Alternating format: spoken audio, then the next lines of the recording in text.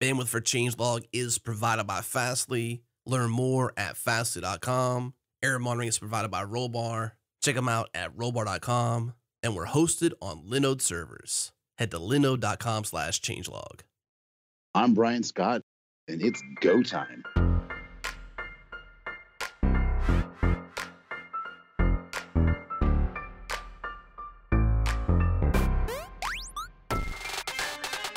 It's Go Time, a weekly podcast where we discuss interesting topics around the Go programming language, the community, and everything in between. If you currently write Go or aspire to, this is the show for you.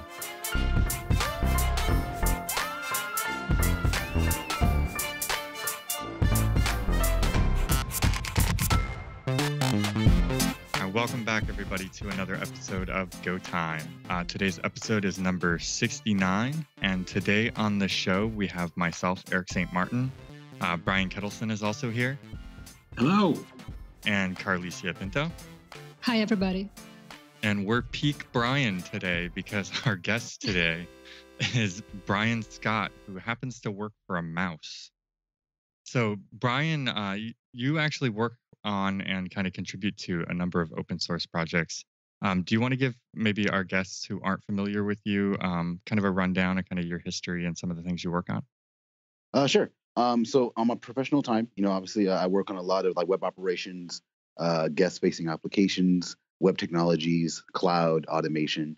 Uh, but for my open source side of my life, um, I do maintain a project called GoLangFlow.io, which was heavily inspired by like RubyFlow. Uh, by uh, Peter Cooper, right, uh, out of London, I believe. And it's it's essentially just that. It's literally a replica of Liberty Flow, but written in Buffalo, um, and obviously powered by Go. Um, and it's you know uh, it gives uh, the community a chance to kind of post their favorite news articles and whatnot, which automatically get posted to Twitter, and then a- along with all the other like Twitter bots that are that are scattered all across the Twitterverse. That's much it. Uh, I also contribute to a bunch of open source libraries. I do have a a have a couple of favorites. Uh, for instance, like Colly uh, is my favorite library uh, for scraping content off the web. Um, I do. I am also starting to kind of get into the whole like blockchain uh, era. So uh, I've been you know reading up a lot of of uh, Go packages that kind of integrate with like with the blockchain. And if I'm not mistaken, too, you're also um, kind of jumping into the serverless world as well, right? Yes, yes. Um, I have been waiting a long time for Go support uh, on the Amazon Lambda front. Um, that's just got released recently. So I've been heavily, uh, you know, even before that, uh, I used a lot of other tools to kind of push, you know, functions either into the Google platform. Uh, I believe Azure has like their own platform for actual functions, right? And also been playing around with uh, OpenFaaS as well. So I've been doing like, serverless for quite a while, but definitely love the actual native support. So, um, OpenFaaS, uh, what's your kind of experience with that? That's one that um, I've been keeping my eye on, but haven't had time to actually uh, invest in it.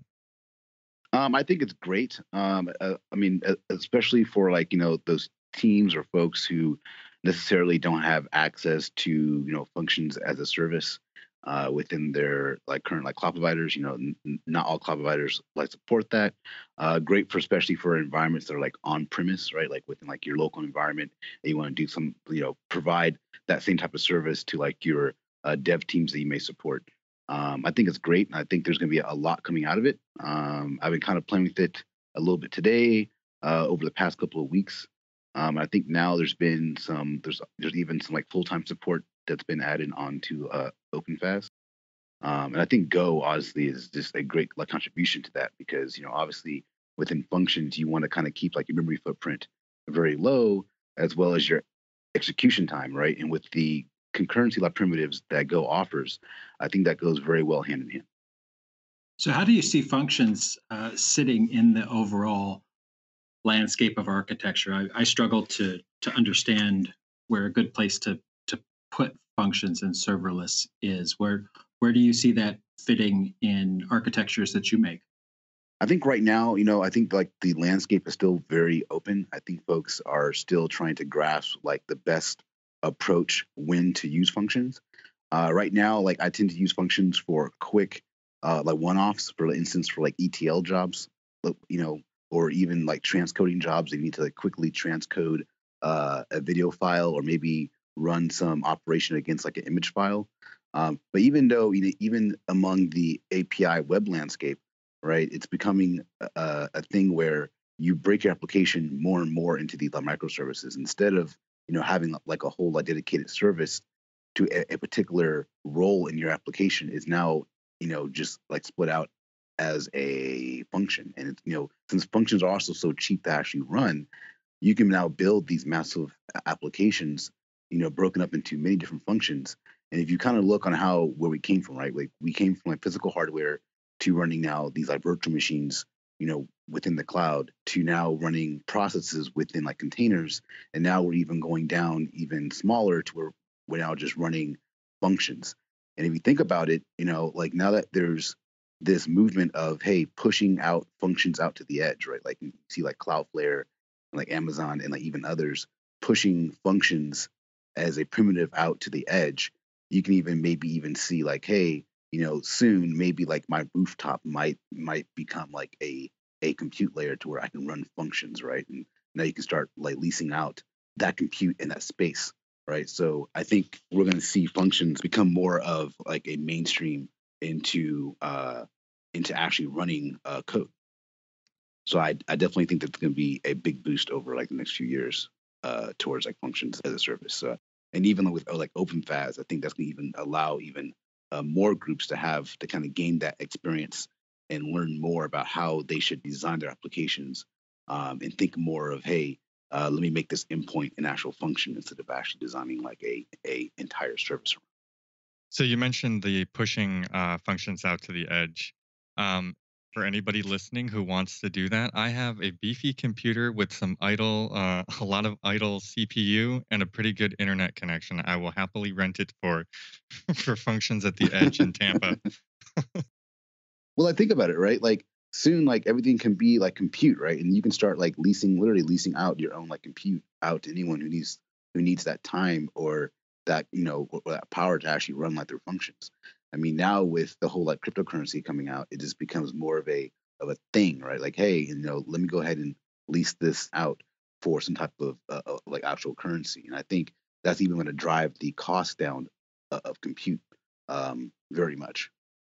Yeah, I think serverless is really interesting. It's something that like I've had my eye on for like you said kind of ETL and batch jobs and and things like that, but I haven't connected yet with kind of like this all serverless vision that some people have, you know, where the web request comes in to a serverless function which calls other functions and there's there's no real full-fledged service that things have hit.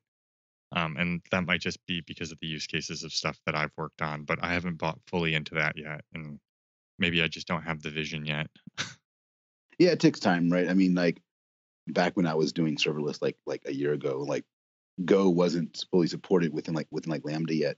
Uh, it was supported within other like serverless like frameworks, but I used Apex right to quickly like be able to like tar up my full web app. And I remember writing a web app uh, in in Buffalo and actually running a full app within serverless and it's just attaching to that backend database, right? That's running within like a managed service. But um, I think over time there's going to be a lot of lessons learned and there's going to be a lot of breakthroughs in how we can use serverless and actually like push forward yeah, that's true. I mean, it, it is still early, right? I think that there'll be better abstractions and things that kind of uh, make it more approachable, right? It's not that I don't yeah. see the value in paying for compute by the second only as a request comes in. It really, um, my not sharing the vision yet is really in lots of unanswered questions about the maintainability um, and debuggability of an application that behaves that way yeah you're right and i think like the way of the way that we debug applications and the way that we design for like clean code and good architecture and best practice is going to change as we move more and more into serverless because it does require a different level of thinking. Um, and again like you know people call it serverless but just remember you know there's still there's still servers running behind those functions. There's still you know power and cables running into those servers and then there's still a foundation and, and people actual human beings still you know, managing um, all that equipment. So it, it's still good to know that, you know, okay, there's still some type of operations behind it. There's still a foundation. There's still servers running this function somewhere. But I think, you know, as infrastructure kind of climbs up the stack higher and higher, you know, that line's going to blur. And soon again, again, you know, as we do move into serverless at the edge, compute is just going to be a thing, right? It's just going to be anywhere that you like that you actually like need it. Yeah, and I think you start thinking about that really versus like short-lived versus long-lived processes because Mm. even as we adopt the cloud more and you know Kubernetes as a service offerings and stuff like that, managed Kubernetes, you know, essentially that could be looked at as serverless too, right? Because your managed Kubernetes cluster could be set up to auto scale the compute behind the scenes for you and and all of these things and you never you know say the even the worker nodes end up managed at some point right? Like we could end up in a world like that where you know it's just even um you know some of these container based services aci you know we have and some others like you just throw the container at it all of those things you don't really have to think about the provisioning of um, the hardware and all these things that happen. So serverless really is an interesting buzzword because it's you know it could be You're right. applied to a lot more as kind of managed cloud infrastructure evolves. Yeah, you're right. Totally right. And I think, you know, the more and more that developers interact with serverless, we're going to see a lot of new creative things like come out of it. Um, you know, like just being able to run like your own little hobby project or be able to quickly, you know, uh, test and uh, outline something to see if this is actually, if this idea is actually going to work. You can quickly just throw that up into as a as a function and really only pay for you know what gets used, especially if you're only doing like a like a let's say like a hobby site or some actual like quick tests. It literally costs you nothing. Oh, that's true too. You're not paying for all the idle time of Exactly. your website running and you get, you know, three hits a month or whatever, you know. Yeah, exactly. You only pay you know for for like what you need, and no, I mean there's a lot of best practice to kind of go with that serverless, right? Like make sure that your execution time is small, making sure that your like, memory footprint stays within within like a certain limit. I think you know we now need to start thinking more of that. It's before it's like, hey, you know, I have a I have a box with you know eight cores and 32 gigs of RAM. I don't really need to care about how much resources I'm actually like using. But I think in the world of, like serverless, you know, have to pay more attention to that. I just really want um, Kelsey Hightower's no code to catch on so that I can retire. right, right. That project has blown up quite a bit, quite a bit. My question around serverless is is kind of how do you uh, how do you map your orchestration? How do you see what your endpoints and how they they map to URLs and which is calling which? You know, it, it kind of feels like serverless has the potential to be a, a, big pile of spaghetti that you can't understand. I think you know, like as cloud providers support more and more of like the serverless era of things, right? I think like even now you're seeing like such things like API gateways that are being layered on top of uh, serverless technology such as like Lambda, right? And and functions as a service. You're going to see these technologies start to bubble up that allow you to map your actual, you know, endpoints that are exposed out to the public to your backend functions. And I think with that, you'll start seeing um, new idioms of software come out to where, hey, we can go ahead and map that out for you and create things. You know, you know, like right now with like Kubernetes, if you go to like Weave networks, right, you can just point Weave at your, you know, at you know, go ahead and deploy that into your like Kubernetes like cluster. You can kind of get this visual map of how all the interactions between all your pods are actually talking to each other. And I think that same type of concept will soon be uh, available for even serverless technology, where you can see all your functions and see which API mappings are actually mapped back to those functions and how they all in, um, interact together. You can start seeing maybe some, you know, hey, how long did this function take to actually execute? And what is the latency between function A and function B and how that relates to actual function C, right? So I think, I don't think uh, we're actually there yet. I think maybe like those concepts are still starting to be uh, thought about. But I mean, uh, hopefully, at least for me, like personally, I hope that we start seeing those types of tools being created.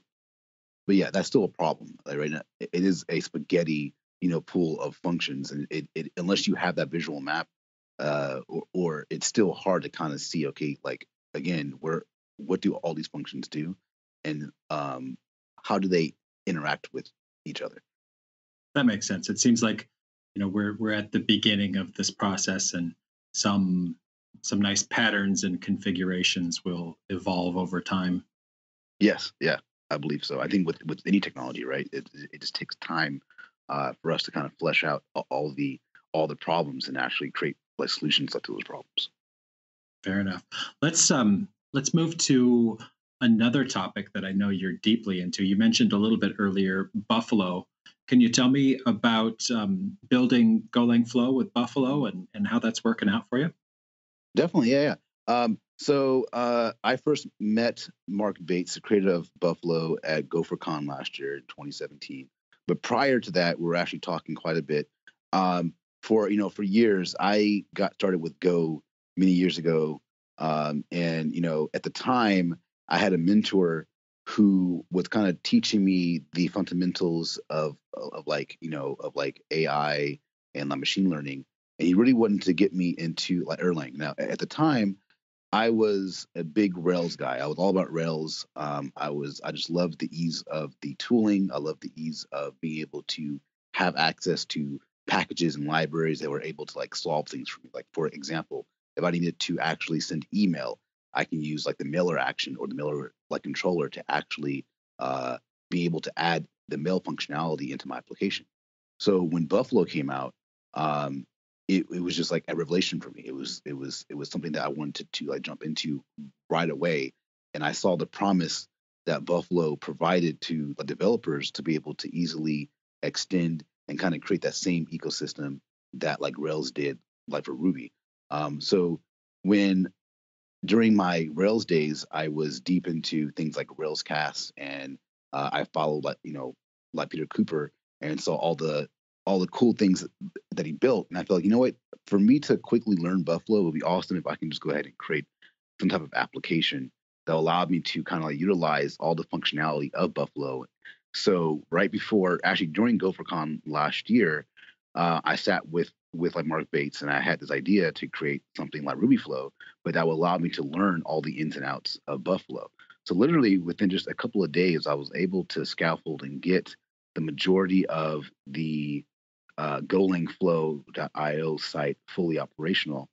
And you know, it actually took off uh, pretty quickly. I was able to see that there was a number of users that were creating accounts that were, you know, posting their own like news articles and or updates on technology that they were like passionate about. Um, and then I quickly thought, you know, it'll be cool if I can go ahead and tie this into Twitter.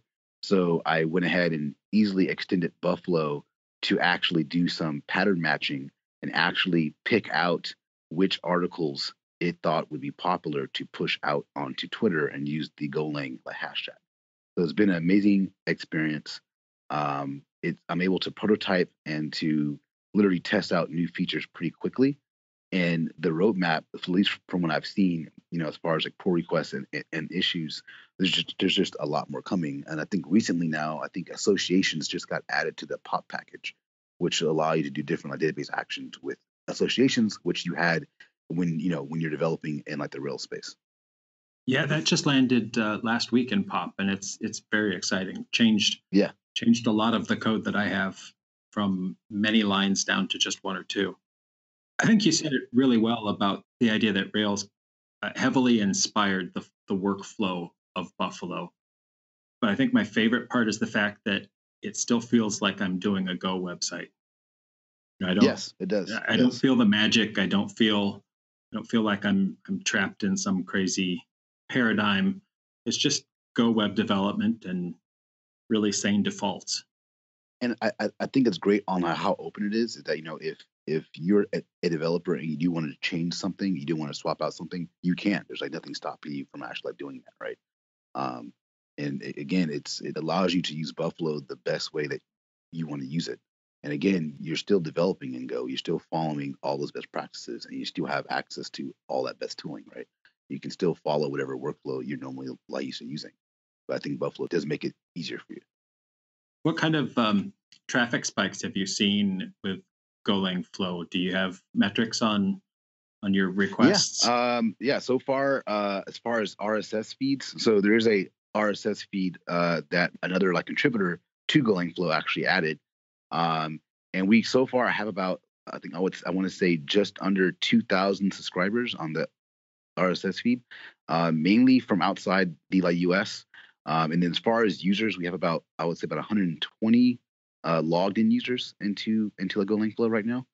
Um, and that was just in the past like month and a half. And and ideally, I mean, I get roughly I would say about 200 page views a day.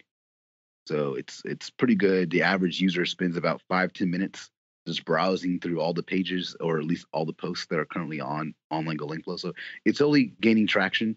Um, I think you know it, it's still fairly new, um, but again, it's really for more of like a learning exercise. And what I do like is that I'm already getting issues where there's you know other uh, developers out there that are using it to actually learn Buffalo. They're actually going in and see how the application uses different features of Buffalo. So whenever a new feature or or uh, a new like generator gets added into Buffalo, I do try and think of some way to integrate that into GoLangFlow just for others to actually learn um, how that's you know how to use that properly. So when, for instance, when like Mark added the whole background workers into Buffalo, I quickly thought of, hey, I can use this to actually automate the tweeting out or posts out to Twitter. Um, and same thing for the actual mailer. I do plan on adding some type of like newsletter type of a deal into GoLangFlow to where, hey, if you don't want to go to the site every day, or if you don't want to be um, subscribed to the RSS feed, then you can go ahead and just quickly, you know, sign up to the to the newsletter and just get like a weekly email of like all the recent posts. That would use like the actual mailer um, like generator like within Buffalo. That's nice. So is there any real social component to this? Is there upvoting or downvoting or their comments? So I do have plans to add uh, things like yeah, things like upvoting and downvoting. Um, I just don't want to give the sense that hey, because this was like if you know if you're a developer and you're really passionate about something that that you just built and you post it there, I don't want to give like a negative feeling that hey, it got downvoted, right? So it's been something that I've been thinking about. Instead of like downvoting, or like like upvoting, I've been thinking about maybe adding likes and and like comments. So a post can get X number of, of like likes, and then it can you can also add add comments if you want. Uh, but there's a sharing functionality. So if you do see a post that you like, there is like you know a little toolbar that you know has like Twitter, Facebook, and and such to where you can easily like share those posts out. That was one of the things that I kind of like most about Golang Flow is that there is no comment section. So it never turns into Reddit or Hacker News. And there are no upvotes or downvotes. So it's just a steady stream of good posts. I can look at the ones that are titled well to get my attention, but I just I like not having all of that socially votey stuff. Yeah, I wanted to keep it very neutral. You know, um, the good thing is that like like right now, when you create a post in, in like GoLangFlow.io and you actually add your title, it's not very apparent. I need to make this actually like stand out more, but you can actually add your own hashtags. So if you want your post to stand out in certain hashtags on Twitter, you can actually add hashtags into the title, and those same hashtags would be used when the background worker actually runs to, to post your post onto Twitter or tweet your post. That's really cool. Yeah. So yeah, it's been growing. You know, it's a a growing a growing project. Um, luckily, it doesn't take too much of my time, and even when I do spend some time on it, those features I can usually code out pretty quickly. You know, and I actually feel really guilty about this, and nobody tell Mark Bates, but I still have not written anything in Buffalo. Mm. I mean, it. I mean, I think you really have to like find like you know like what you. I mean, for me, Buffalo was hey, I wanted to build something in it to actually learn it. Um, you know, I don't consider myself a Go expert at all. I'm still learning, just like everyone else. Uh, you know, I mean, uh, there's folks, there's going to be people out there who want to use frameworks. There's going to be people out there who want to just use the center library, uh, and that's you know, and that's what they're most like comfortable with, right?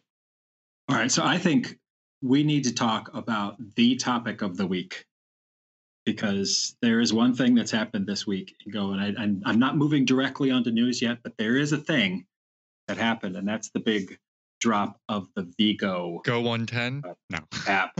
yeah, Go one. Yeah, that was it. Yeah, of, of versioned Go. So, if you haven't heard, because you aren't tied into the news like I am with a drip feed every morning, uh, versioned Go is a fork of the Go tool that supports um, versioning capabilities. It, it replaces Go Get. It replaces dep and it allows you to create reproducible builds. And it does that by creating a uh, module file, go.mod. that describes your module and its dependencies. And it's a big deal because it's it's learning from DEP, but it's it's mostly not DEP. So it's completely new. If you haven't been reading these, um, at the point of this um, recording, uh, there's been five posts on Russ Cox's blog, kind of describing the problem and how vgo works, and um, kind of like how how that mod file works, how imports work, uh, a new algorithm he's designed called minimal minimal version selection. Um, and rumor has it there's two more to come, uh, possibly one more of those today. So this has been a big discussion, especially with everybody kind of recently uh, jumping on DEP. Yeah, didn't um didn't Sam uh just post a blog post about DEP and vgo not too long ago as well? He did just just a day or two ago. He he made a a response to the vgo post talking about the technical merits of the vgo ideas and his concerns about the implementation. Um, it wasn't wasn't really deep in terms of technical problems. It was more of a introductory post that said he was going to be posting more. Got it. Got it. He also mentioned he is going to be working on vgo yeah, I think um, he has been kind of set as a resource to work on some components of vgo. I forget which ones those are now, but uh, development of DEP will still continue, and I believe he said that he's got he's going to have some more posts coming out. Um, and I know that him and Russ have had lots of discussions as well. That's good um, about some of his concerns. Um, it, it's interesting, right? Um, I accept that Russ and Sam probably know much more about uh, dependency management and uh, kind of building that graph of dependencies and things like that than I do. Um, but I, I actually really like the vgo approach, even the minimal version selection. I think that there's some confusion around it, but I actually really like how simple that is um, because I've I've bitten been bitten more than once by the unintentional updates of transitive dependencies breaking crap, and that's just it's a pain to solve. It's it's a pain to get back the old version. I agree with you, and I think this definitely. I think there has to be some level of deep effort to solve the problem. Right? I mean, DEP definitely solved a lot of problems. You know, I love DEP.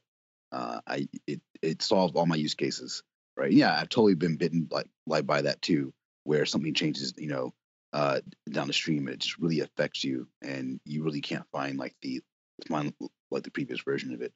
Um, I don't have that problem too many times, but I, I definitely know that you know, and I'm glad that you know Sam and uh, and and team are definitely you know working, and hopefully you know maybe they just take the best things out of both you know vgo and DEP and create something even better.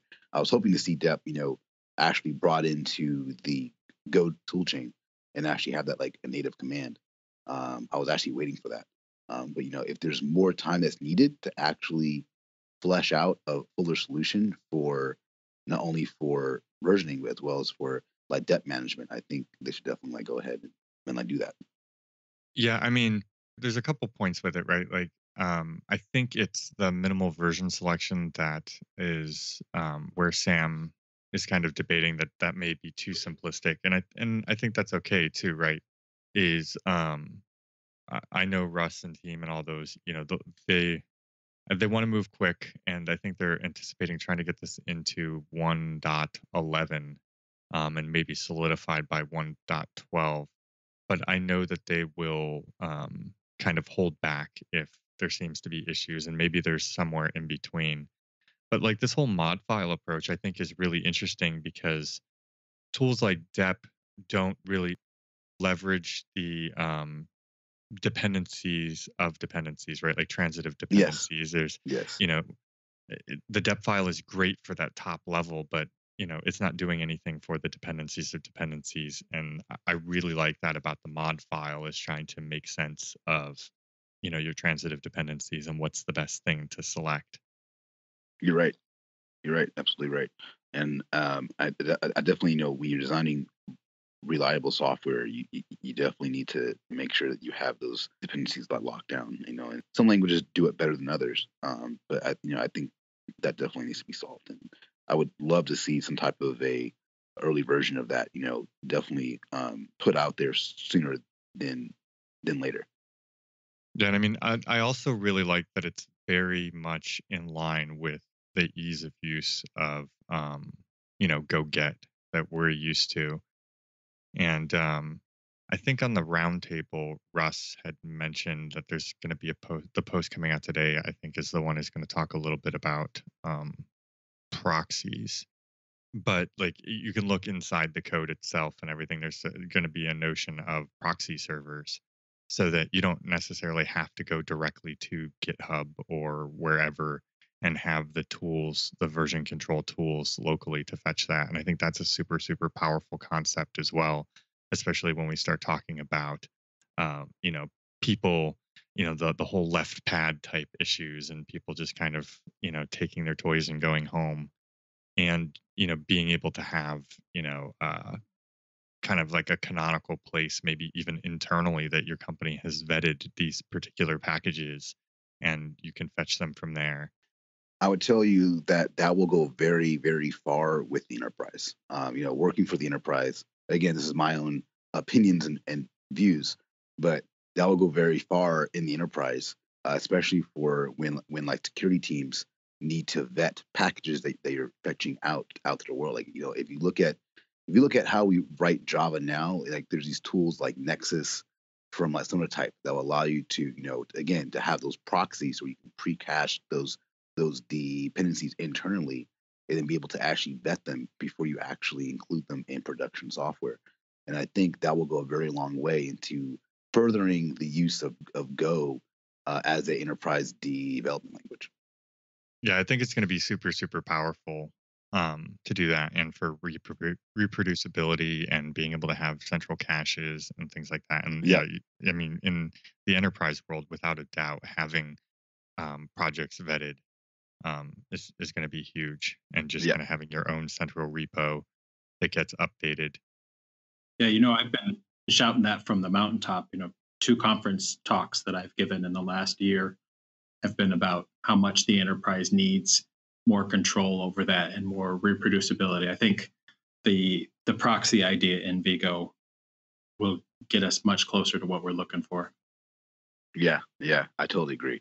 Um, and even now, even just talking about it now, I really wish that that like that was like into like full tuition right now, right? Like I can totally like use that like right now. And uh yeah, you know, can't wait until that hopefully, you know, becomes like a thing.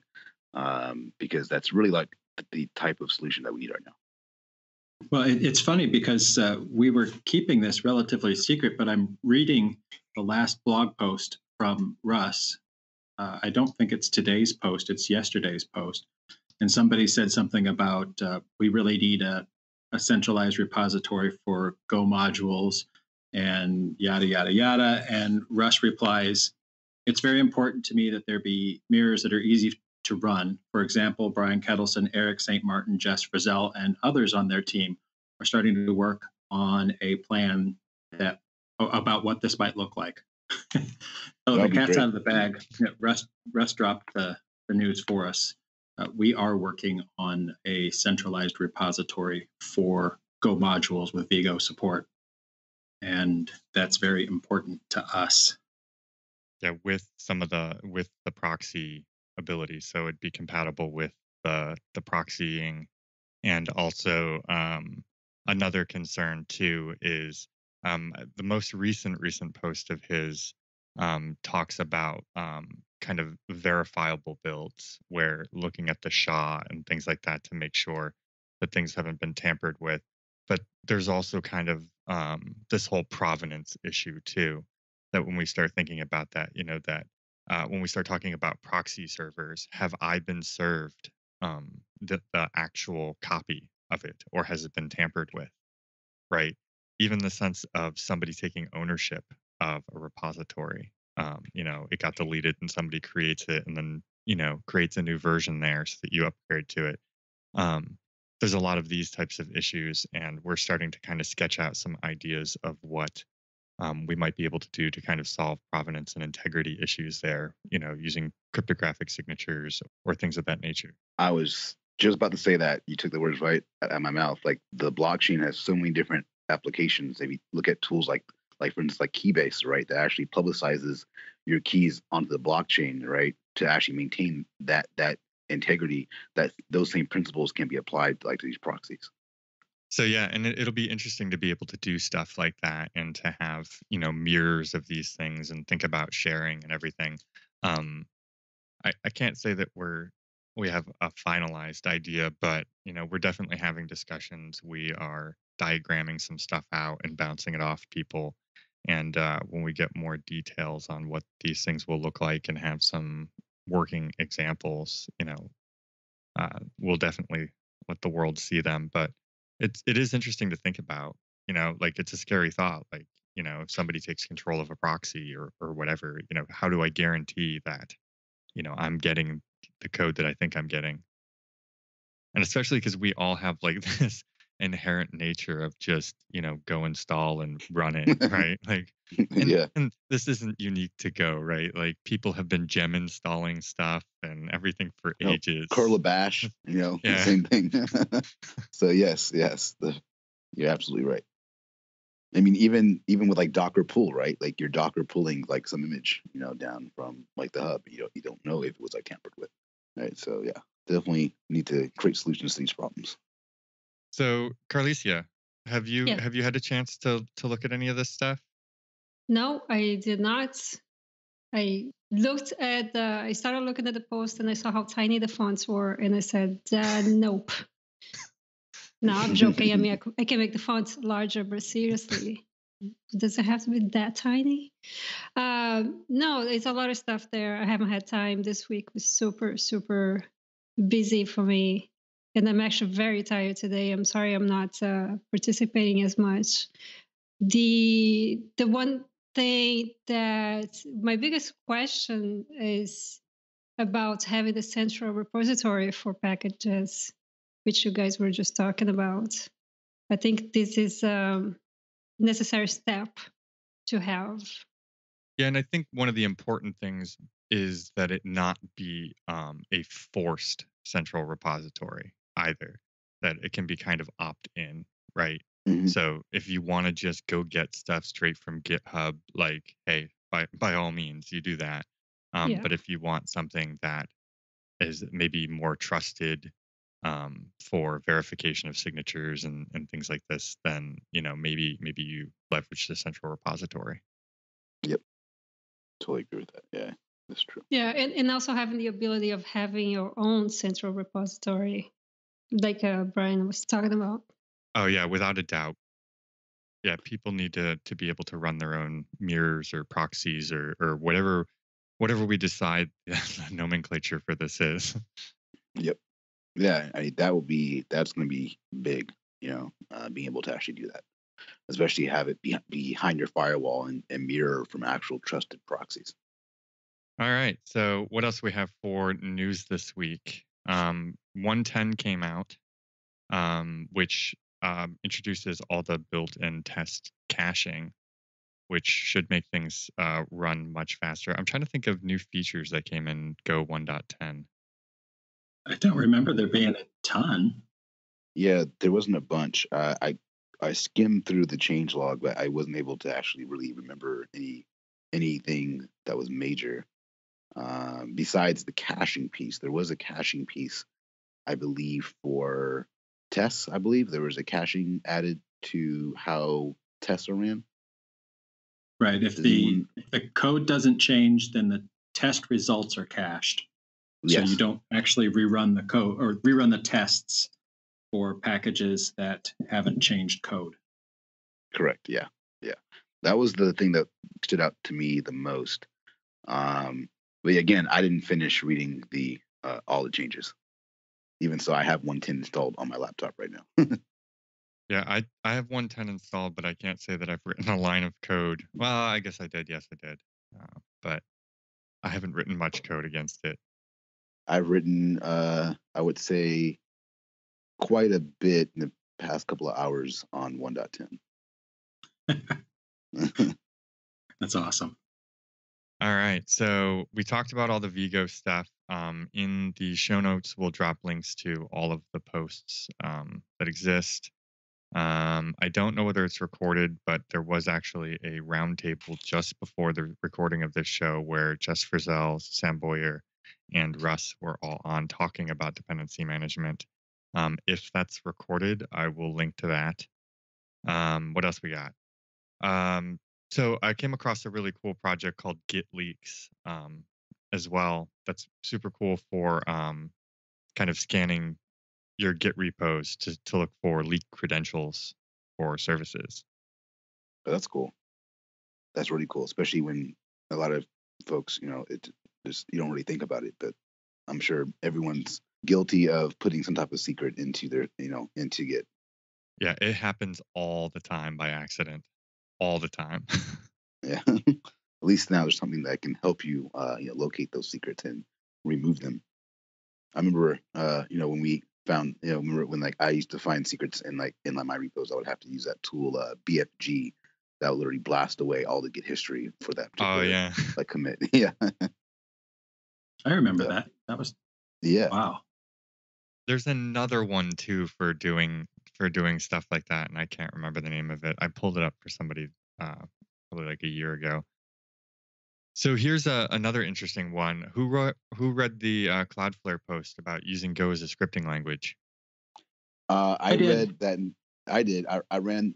I read that that entire post, and I even gave it a try. I even actually followed it and actually tried it out. Yeah, I thought that that was really really interesting, and it it it would be um, a fun experiment to see, you know, how many people start using Go for things like that instead of Perl or Bash or PHP or I think it'd be great.